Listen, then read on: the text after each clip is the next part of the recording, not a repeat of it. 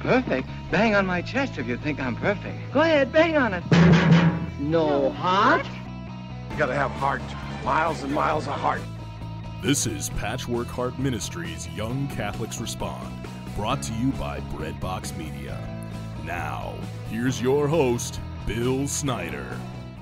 Thanks, Adam, and welcome to the program, everybody. I am Bill Snyder. This is Young Catholics Respond, and thank you so much for tuning in and listening to the program today. I want to remind you that you can connect with our ministry at patchworkheart.org.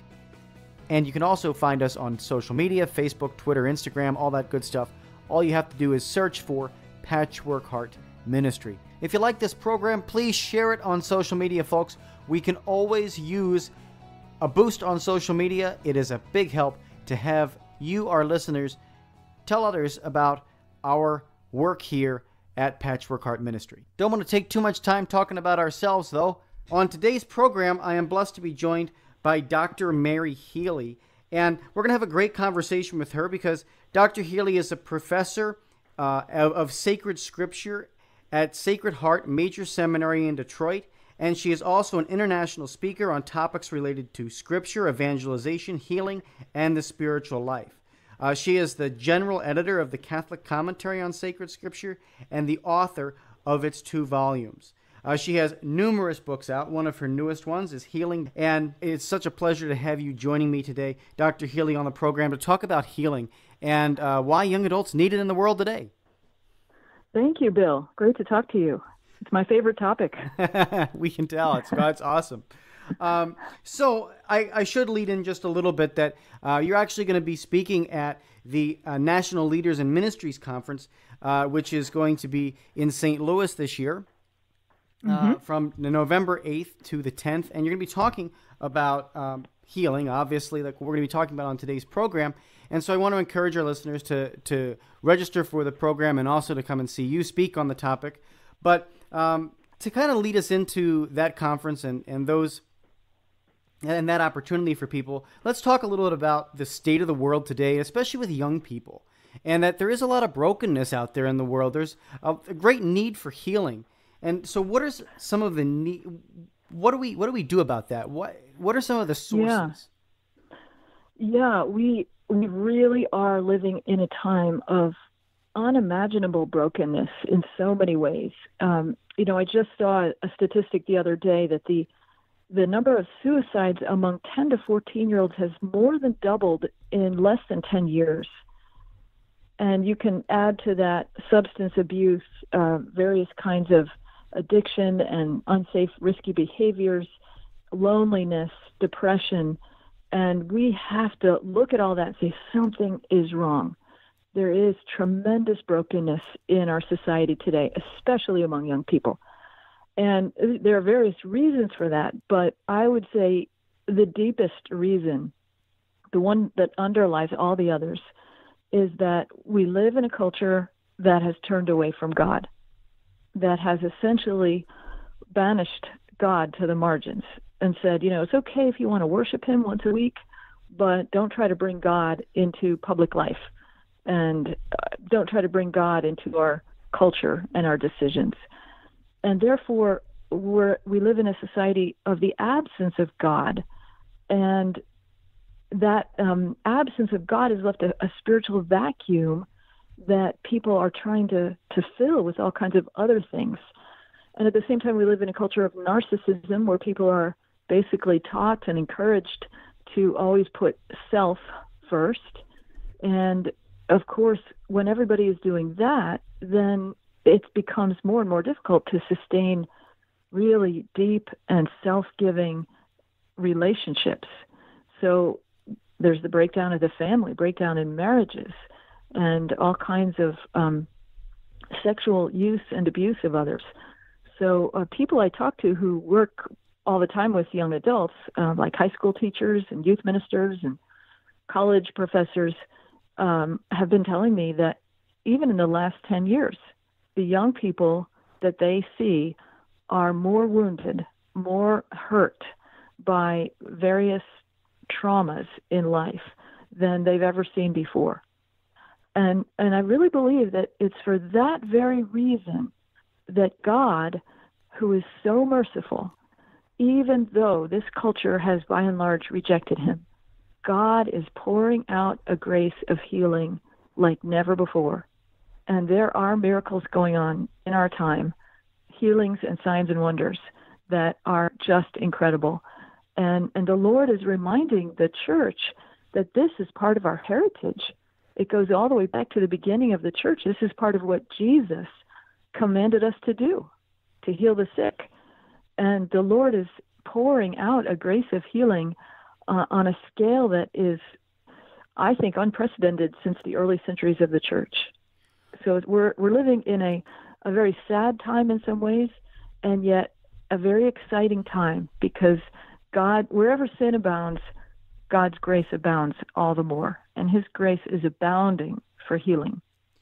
Yeah, you know, I, I want to talk about. You gave us so much to chew on uh, in what you were talking about, and a lot of it um, is uh, talking about how much brokenness and woundedness is. When you when you mentioned that the suicide rate for ten to fourteen year olds has doubled in ten years, that's an alarming statistic. Uh, the amount of mm-hmm. substance abuse, the addictions, the depressions. Um, I want to talk about the the that source of healing for a moment because young adults, um, me re, me being one, and kind of on the uh, outer cusp of the young adult uh, cutoff, I think at age 35 in the Catholic Church. Mm-hmm. But uh, we we kind of uh, search and bounce from from one thing to the next. I, I, I know at least in my life, I I spend a period of time. Okay, you know, I you know what. I think everything will be fine if I just get the next iPhone that's coming out. I think everything will be fine if I just get this. And there's there's so much distraction, so much cultural, uh, you know, confusion out there. How? Yeah. What what is that? What is the source of of the healing that that we need? Where do we turn to? Because I think people are turning all over the place to to to fill those needs, and then as you mentioned, the substance abuse, the addictions, the depression, it all kicks in. So where do we turn to? Yeah. Right. Right. Well, of course, our culture is telling us that um, it's in material goods or it's in pleasure, uh, including sexual pleasure, or relationships that we will find our fulfillment. But ultimately, we cannot find fulfillment apart from God. We're created by Him and for Him. And the human heart will never find what it truly longs for without God. And God sent us His beloved Son, Jesus, to be our Savior to reconcile us to Him, to, to give up His life for us. So ultimately, healing comes in Jesus Christ. Now, many people don't um, they don't know that or they don't believe that. Many of them have have even been churchgoers, but they've never really heard the good news of the gospel in a way that mm, captivated them, in a way that convinced them, um, because often it hasn't been preached with conviction and clarity. But but that's the real truth that God has has designed us for something so much more than the material having the material needs and desires of the body filled. I mean, all of that. It ultimately it's unsatisfying. It's superficial. It's cheap, and it only leads people into into bondage to various kinds of addictions or attachments. So God Himself is the source of healing, and and the good news is that He He is never reluctant to heal us. He is never um, resistant to one who who turns to Him sincerely and asks Him for help and, and grace and healing. He doesn't always answer our prayers immediately in the way we ask them, but He does always answer our prayers. And and young people who turn to God are the most on fire. and this generation, young Catholics and other Christians who are uh, giving their lives to Jesus are so inspiring because they get set on fire and they are bringing the, the grace of God's mercy and healing to other people in a way that is, is just remarkable. Yeah, you know, that's beautiful. I, I want to pick up on something you mentioned there where you said God is never resistant or reluctant to heal us. Um, I, I, I know a lot of um, I, I in in addition to being a, uh, a, a young adult Catholic, I'm also an Uber driver, and oh, and I get to encounter a lot of people um, Yeah. out there um, in in the world, and so many of them would would say, "I tried this, but it didn't work." You know, I I, I can't tell you how many times I have that conversation, you know, with with people. Oh, I I, I tried that, but but but what is trying it? You know, what is what is jumping Yeah. in uh, really mean? What is, what are those things that are going to lead us to the healing? As you mentioned, God doesn't you know just always you know heal immediately. He doesn't always um, show us immediately, but He's never reluctant or resistant to the possibility of it um, for us. So so what what do we have to? Is there anything we have to do? Well, one thing is we have to realize that God is not a quick fix. Um, Jesus is not fast food. Um, he, he's not a silver bullet. Um, what we need and what God wants for us is a relationship with Him. And a relationship doesn't happen instantaneously. Of course, that's another big error that our culture purveys to young adults that you can you can make a relationship instantly or overnight. And and that's a complete illusion. Uh, relationships take time. And so um, building a relationship with God is um, is something that you you need to develop over time, and God will be there every step of the way. And it won't always be easy, but He will lead a person who is sincerely seeking a relationship with Him. He will lead them deeper and deeper in that relationship, and and that sometimes it will be um, you know through a, an amazing world rocking earth shattering experience like like St. Paul on the road to Damascus. Other times it will be um, by slow growth, but spending time praying, you know, a little bit of time connecting with God every day, spending time with other people who have the same aspirations and goals, spending time with people who love God and, and want to grow in faith and grow in holiness. You know, if you don't hang out with people like that, you can't expect that your relationship with God is going to grow. And feeding your mind with truth is crucial as well. Feeding your mind with good material. First of all, Scripture itself, the Word of God, but also good books, good audio uh, recordings, um, and conferences, listening to people who who also have strong faith and whose hearts are on fire. You know, we need to fill our minds with truth because we're getting filled with the world's bad news all the time. When I say bad news, I mean not just bad news of crimes and things. I mean Right. all the lies that the world purveys to us. So we, if if we are serious about wanting to know the Lord and, and wanting to have a deep relationship with Him, we have to do whatever is needed to fill our mind with the truth. That's beautiful. Uh, for our listeners, you're listening to the voice of Dr. Mary, Mary Healy. Uh, we're talking with her today about healing. Uh, believe it or not, 13 minutes flies by so fast, Dr. Healy. I have to take that short break. uh, but then when we come back, we're going to continue that conversation with you and uh, particularly want to talk with you about how, what we can do on the practical level as young adults, as Catholics, uh, to, to help other people uh, out of those situations in life. So we'll resume our conversation on the other side of this break. Thanks so much for being here. Stay tuned. Judy Hare was a bankrupt, homeless, drug addicted college dropout on the brink of divorce, but is now a seminary graduate and devoted wife and mother of four children. What happened? Find out in her autobiography, Shattered How God Restored My Heart and Life. Her journey of faith has been called brutally honest, truly inspiring, profound, heartbreaking, and life changing. Shattered is available now for only $15 on her website, judyhare.com, on amazon.com, or at your local Catholic bookstore. As Judy says, it is never too late to become the person you deserve and desire to be.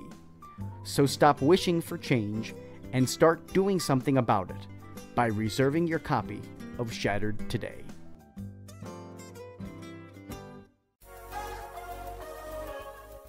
Patchwork Heart Ministry is committed to sowing hope into broken hearts by helping young people encounter the love of Jesus Christ and His Catholic Church through prayer, storytelling, and media initiatives. We invite you to prayerfully consider supporting this mission financially. Mail your tax deductible donation to Patchwork Heart Ministry at P.O. Box 563, Lake Geneva, Wisconsin, zip code 53147, or visit patchworkheart.org to donate online. That's Patchwork Heart Ministry, P.O. Box 563, Lake Geneva, Wisconsin 53147, or online at patchworkheart.org. The words spoken by Our Lady of Guadalupe to Juan Diego nearly 500 years ago are almost too good to be true. Asking that a temple be built at the site of her apparition, she promised that here I will give all my love, my compassion, my help, and my protection to all those who love me, cry to me, seek me, and who have confidence in me. Here I will listen to their weepings and alleviate all their sufferings, necessities, and misfortunes. My name is Alan Napleton, and I live in Dallas, Texas. I have visited her shrine in Mexico City dozens of times, bringing my own petitions, and have found Our Lady to be true to her word. Over the years, I have brought hundreds of pilgrims to this holy place without incidents and have now founded Viva Guadalupe, a nonprofit that provides safe and inexpensive pilgrimages to Our Lady's Shrine. If you would like to take our Blessed Mother up on her promise and learn more about how you can visit this special place of grace, please visit vivaguadalupe.org for more information.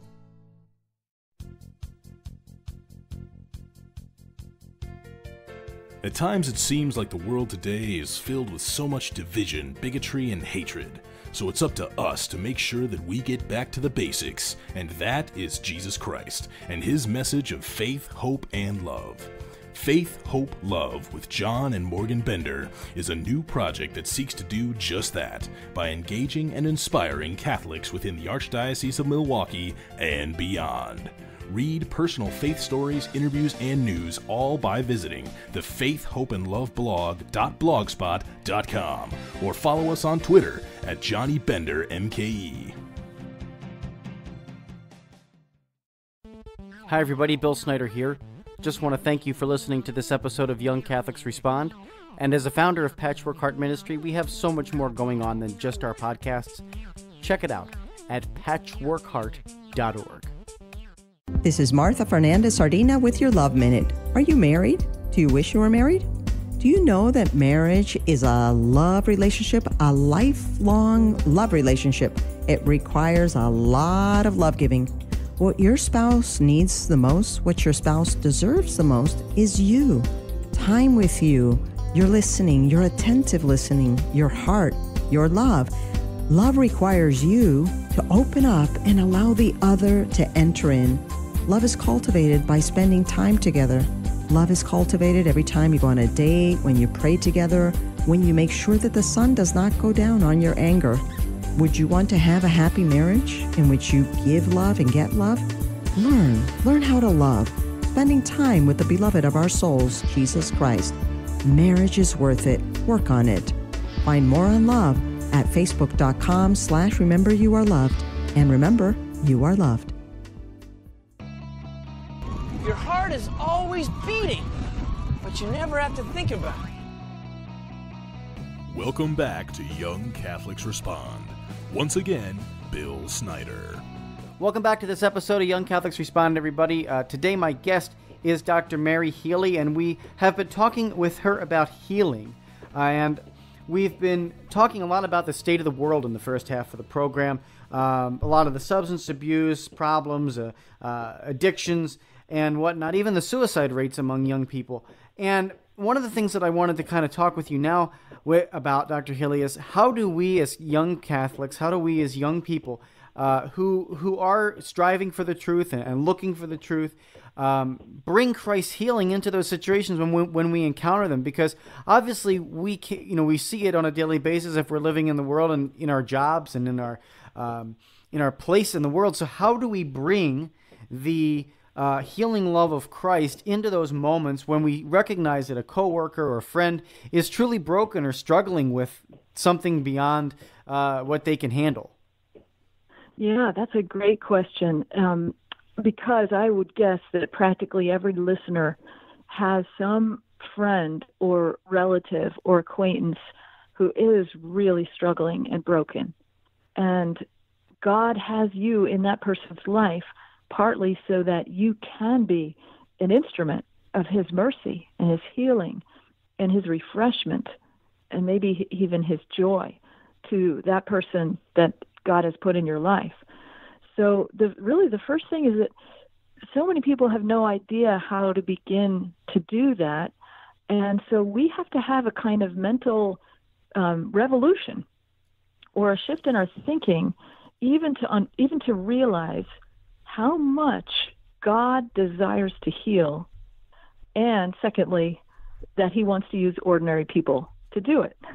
So that's um, part of what I'm going to be talking about in my talk at, at the conference, um, helping people realize this is actually part of the commission that Jesus gave all his followers and that he equips us for, each in a unique way.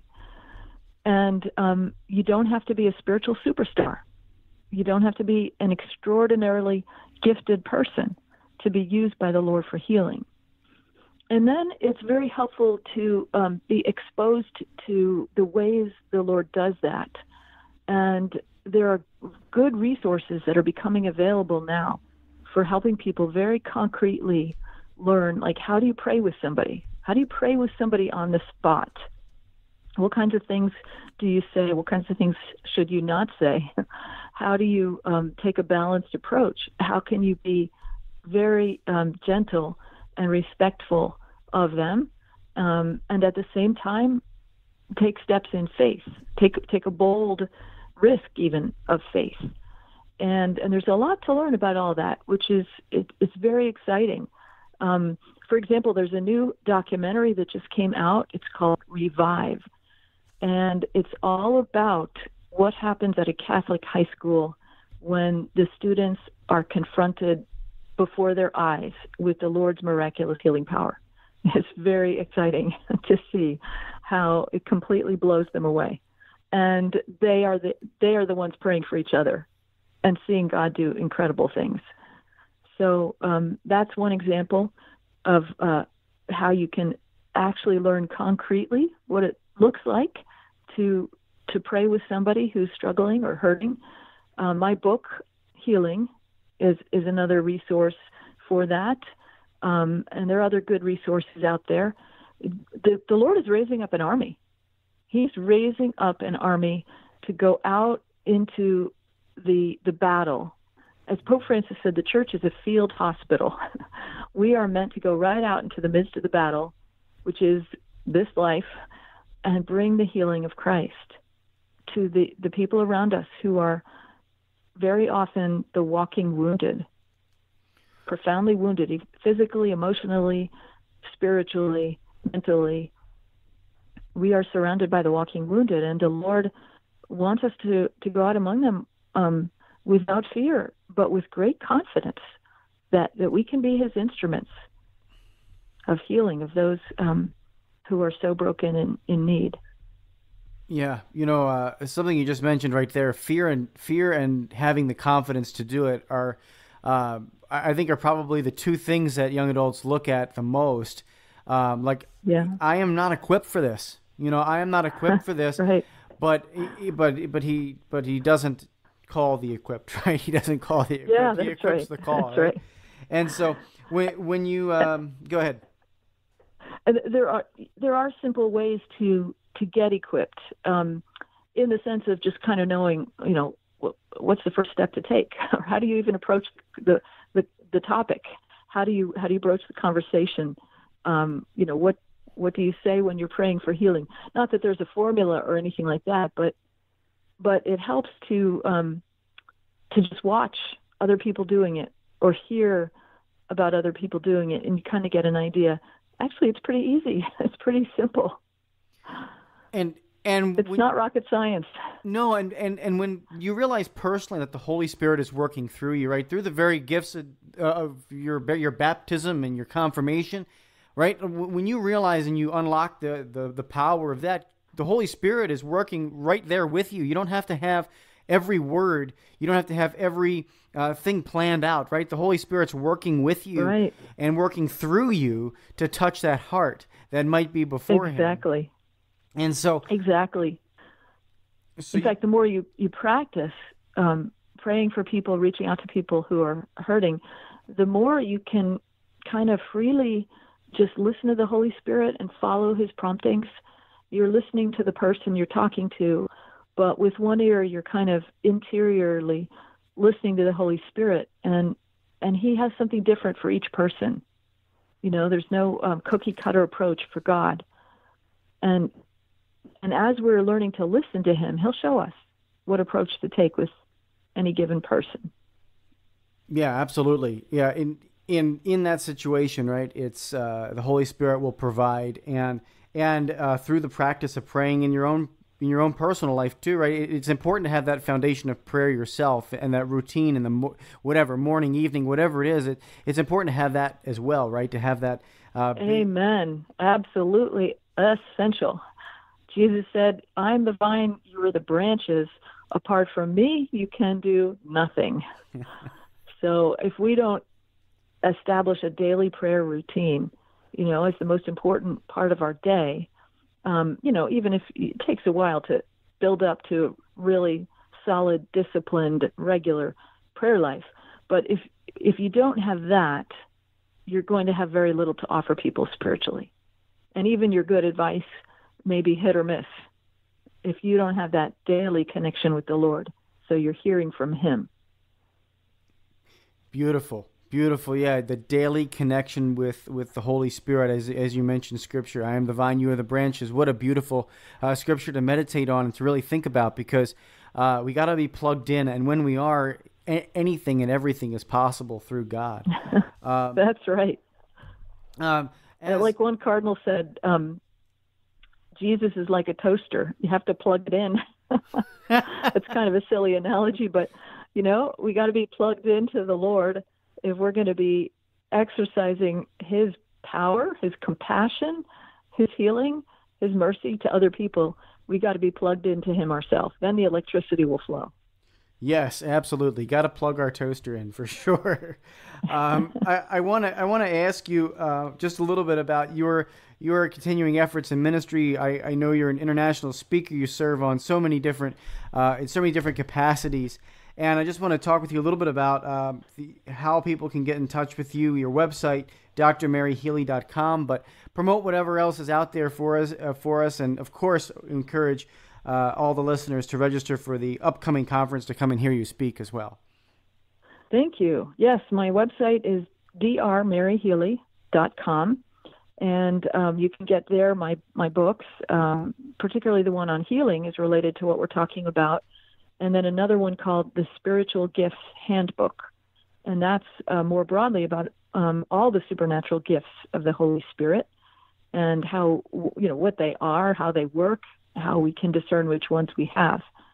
Um, and you can look at my upcoming events also on on that website on the events page. And um, I love to see young adults at my events. Yeah, absolutely. Well, Dr. Healy, looking forward to meeting you and seeing you uh, at the NSC conference. Uh, I want to mention to listeners that it is uh, St. Louis. You can uh, in St. Louis, Missouri. Uh, you can go to nsc-chariscenter.org to register uh, for the conference and hear Dr. Healy and all of our amazing speakers that are going to be there for the conference. So, uh, Dr. Healy, uh, thank you again so much for spending time for being uh, for being here today with me on Young Catholics Respond. You're welcome, and thank you, Bill. God bless you, and God bless everybody who's listening. Amen. Well, this has been an episode of Young Catholics Respond. Until next time, from all of us here at Patchwork Heart Ministry, I'm Bill Snyder. Keep beating to your Catholic heart. You've been listening to Young Catholics Respond, a radio initiative of Patchwork Heart Ministry. To learn more about our ministry and program, visit us at patchworkheart.org. Or to get exclusive access and early ministry updates, become our patron on Patreon by searching for Patchwork Heart Ministry.